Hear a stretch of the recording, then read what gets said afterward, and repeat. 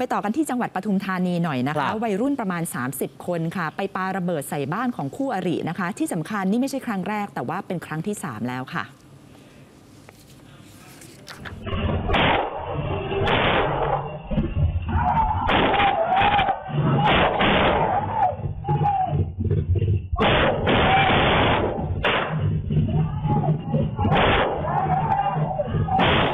นี่คืออะไรเนี่ย นี่เราอยู่ในยุคหนังสงครามเหรอ นี่เราอยู่ยูเครนเหรอ ไม่ใช่สองนะสองสี่เก้าเก้าอัตภานคลองเมืองเออหรือว่าโฟคิงเหรอ หรือว่ายังไงฮะ แม่จริง ๆ เลย กลุ่มวัยรุ่นค่ะ ขี่มอเตอร์ไซค์นะคะ แล้วก็บุกไปปาระเบิดไทยประดิษฐ์นะคะ ที่บ้านครับคู่อริค่ะ เสียงดังสนั่นหวันไหวไปทั้งซอย เหตุเกิดประมาณตีหนึ่งของ 19 กรกฎาคมที่ผ่านมาภายในซอยธรรมสุธี 23 ในอำเภอเมืองปทุมธานี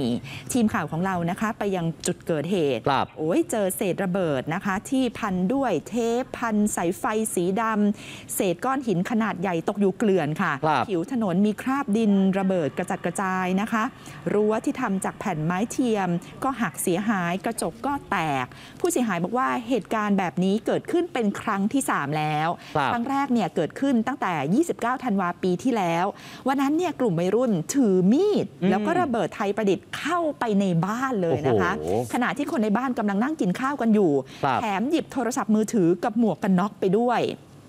ครั้งที่ 2 ค่ะ 11 มกราปี 65 ก็คือต้นปี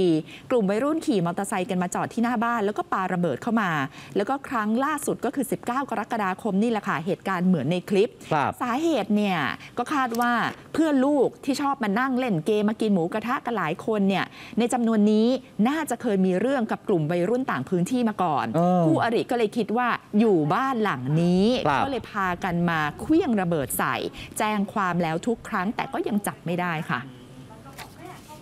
ได้ยินเสียงบึ้มบึ้มก็เลยออกมาดูเนี่ยได้ยินเสียงเจียวเจ้าเจียวเจ้าเนี่ยบึ้มบึ้มมาก็ออกมาดูก็เห็นแบบเป็นแบบนี้เนี่ย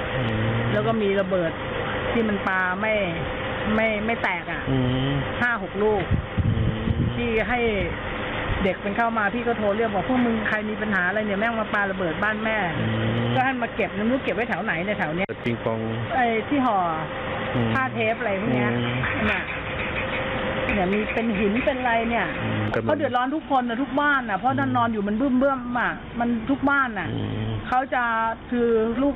คือชาวบ้านแถวนี้เขาจะบอกว่าโอ้เป็นเพราะบ้านนี้อะเราก็ยอมรับนะอืมเพราะว่ามันเหตุมาจากบ้านเราแต่เราไม่ได้ไปรู้เรื่องด้วยไงเราก็เดือดร้อนอืมไม่ใช่เราไม่เดือดร้อน เราก็เข้าใจเขาอะ มาดูชาวบ้านนะครัคะบแล้วก็เจ้าของบ้านเช่านะคะ ก็บอกว่าตอนนี้ชาวบ้านรู้สึกกลัวมากเออเพราะว่าบางครั้งเนี่ยกลุ่มวัยรุ่นมากันกลางวันแสกๆเลยนะคะ คือนี่เกิด 3 ครั้งคุณผู้ชมฮะเนี่ยโอ้โหเกิดเหตุการณ์แบบเนี้ยกับบ้านคุณน่ะเอ๊ะแต่ทำไมตำรวจจับไม่ได้อะนั่นน่ะสิครับอเหตุก็เกิดเนี่ยอย่างเห็นในภาพกลางวันแสกๆเลยเอออะนะคะ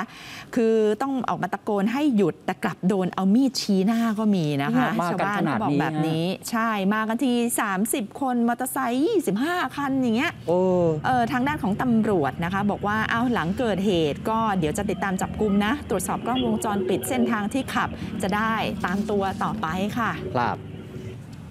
วันดีสนุกฟรีดีทุกวัน วันดีโหลดฟรีได้แล้ววันนี้